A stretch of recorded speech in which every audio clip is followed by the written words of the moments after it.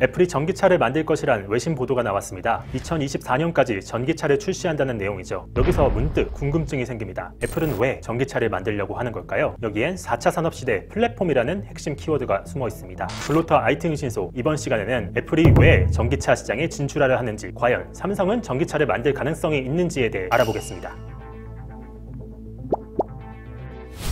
IT 흥신소 최근 애플이 전기차를 만들 것이란 보도가 나왔습니다. 타이탄 프로젝트라는 이름으로 2024년까지 완성 전기차를 상용화할 것이라는 구체적인 내용까지 나왔는데요. 이에 대해 애플은 사실을 확인해주고 있지는 않습니다. 다만 사실처럼 받아들여지는 건 애플이 과거에 전기차를 만들려고 했던 전력이 있기 때문입니다. 애플은 2014년부터 타이탄 프로젝트라는 이름으로 전기차를 개발했는데요. 테슬라의 임원을 영입하는 등 2016년까지 진지하게 프로젝트를 진행한 걸로 알려져 있습니다. 당시엔 엎어졌지만 최근 들어 이 프로젝트를 다시 시작하는 듯 보입니다. 이미 아이폰으로 막대한 돈을 버는 애플이 왜 돈이 많이 드는 전기차 시장에 진출하려고 하는 걸까요? 이는 4차 산업시대 자동차의 역할이 바뀌는 것과 관련이 있습니다. 자동차의 역할은 어떻게 바뀔까요? 스마트폰과 비슷해질 것이란 말이 나옵니다. 스마트폰을 생각해보죠. 개인이 소유하고 실시간으로 인터넷을 할 수 있습니다. 가전을 컨트롤할 수 있고 영화나 음악 같은 엔터테인먼트도 즐길 수 있습니다. 그리고 전기차 시대 자동차는 스마트폰의 이 같은 특성을 따라가고 있습니다. 그 중심엔 자율주행이라는 혁신이 놓여 있습니다. 우리는 하루 중 적지 않은 시간을 차 안에서 보냅니다. 지금까지는 운전에만 집중해야 했죠. 하지만 자율주행이 도입되면서 차 안에서 스케줄도 짜고 영화도 보고 일이나 공부도 할 수 있죠. 자동차가 단순히 이동수단이 아닌 플랫폼이 되는 겁니다.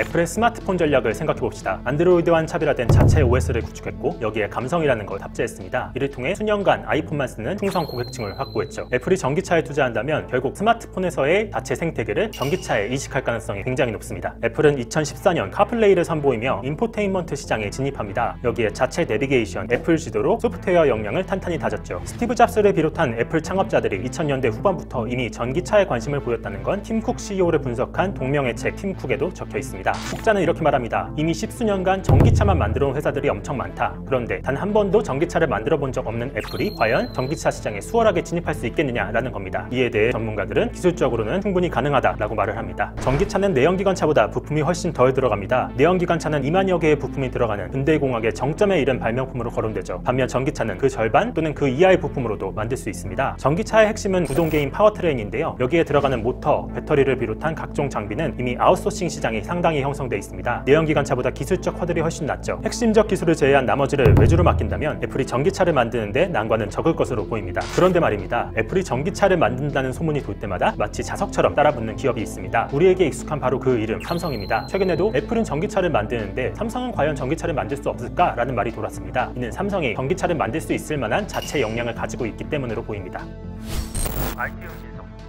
삼성이란 기업을 전기차 관점에서 한번 보겠습니다. 전기차의 심장인 배터리는 삼성 SDI가 만듭니다. 차량용 반도체, 이미지 센서, 디지털 cockpit은 삼성전자와 그 계열사 하만이 만들고요. 삼성 디스플레이와 삼성전기도 패널과 MLCC, 카메라 센서 등 전장용 부품을 만듭니다. 전기차에 들어가는 핵심 부품들 대부분을 자체 생태계로 수급할 수 있는 셈입니다. 그렇다면 삼성은 과연 전기차 시장에 진출할 가능성이 있을까요? 시장은 기대하고 있지만 삼성은 의지가 없는 것으로 보입니다. 삼성이 전기차를 만들 경우 기존의 고객사들이 적으로 돌변할 수 있기 때문입니다. 그리고 이는 기존의 전장 기업들 이 전기차 시장에 굳이 진출하지 않는 이유이기도 합니다. 삼성은 전기차 시장에서 이미 많은 장비를 만들어 팔고 있습니다. 삼성전자의 전장 계열사 하만의 연간 매출만 10조 원을 훌쩍 넘고요. 전기차용 AP인 엑시노스 오토의 매출도 상당할 것으로 보입니다. 이 제품들을 전기차 업계에서 사들이는데 만약 삼성이 직접 전기차를 만든다고 한다면 이들 회사는 삼성 제품을 쓰길 꺼려하겠죠. 정리해 보겠습니다. 애플이 전기차 시장에 진출하는 데는 스마트폰의 생태계를 스마트카로 이식하려는 보관을 가지고 있는 것으로 보입니다. 그럴 개연성도 있고 역량도 또 자금도 충분하죠. 삼성전자를 비롯한 전장 회사들도 전기차 시장에 진출하지 않겠느냐는 말이 나옵니다. 다만 이들이 전기차 시장에 진출하려면 단순한 기술력뿐만 아니라 기존의 고객사들과의 관계도 중요할 것으로 보입니다.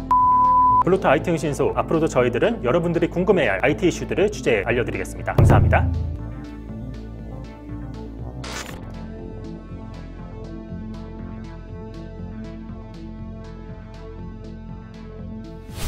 IT 응신소 다음 이 시간에